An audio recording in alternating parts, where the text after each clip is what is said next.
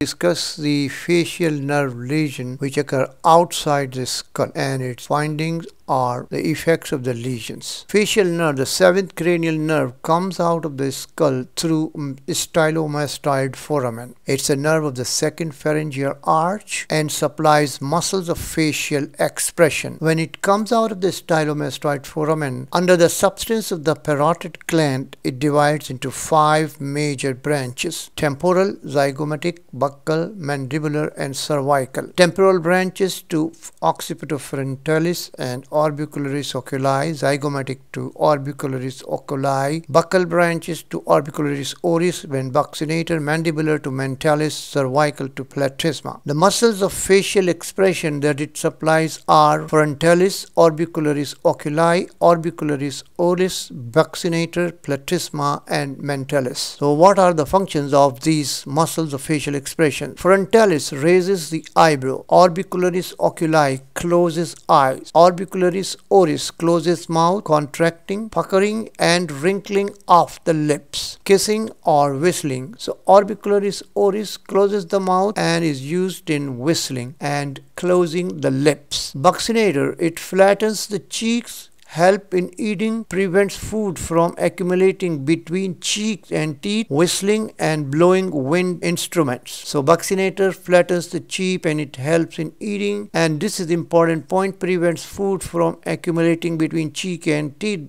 because this is what happens in facial palsy that the food accumulate between cheek and teeth. Platysma draws the angle down, mentalis elevates the wrinkles of the skin of chin and protrudes lower lip and corrugator and procerus they wrinkle the skin between eyebrow and face. So what happens with the section of the facial nerve at the stylomastoid foramen? It paralyzes all muscles of facial expression. Forehead is unfurrowed because furrowing is a function of frontalis. Eye does not close because orbicularis oculi is paralyzed and that closes the eye. Lower lid sac so that tears spill over the cheek, orbicularis oculi. Corner of the mouth droops, orbicularis oculi and buccinator. Food collects between the teeth and lips. Buccinator is paralyzed. Saliva dribbles from the corner of the mouth, orbicularis oris. Sensory loss is rare and taste is intact. Diagnosis of Bell's palsy. Bell's palsy has an abrupt onset with pain behind the ear, loss of taste and hyperacusis. 80% of the patient recover in a few weeks to few months. The recovery is delayed because of the axonal degeneration. Acoustic neuroma, CP angle tumors, infarct, demyelinating lesions of multiple sclerosis and tumors are common lesions that interrupt facial nerve fibers. Which disorder cause insidious onset Bell's palsy? They are tumor like acoustic neuroma, carotid body tumor, cholesteatoma, and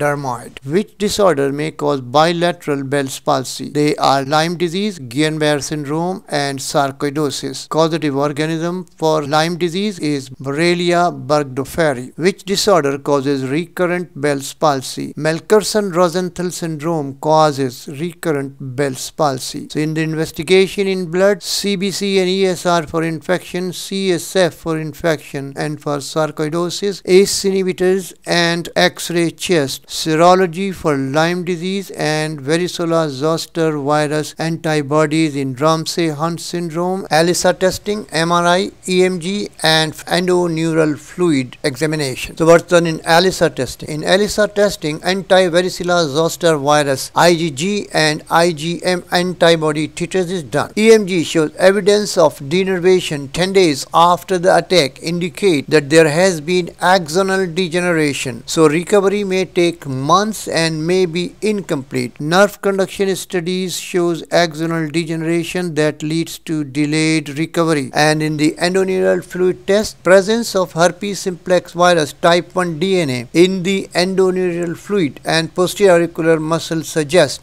reactivation of the virus in the geniculate ganglion. MRI. MRI may reveal swelling of the geniculate ganglion and facial nerve. Number two, MRI shows facial nerve swelling in idiopathic Bell's palsy. And number three, they are very helpful in detecting CP angle tumors and facial nerve tumors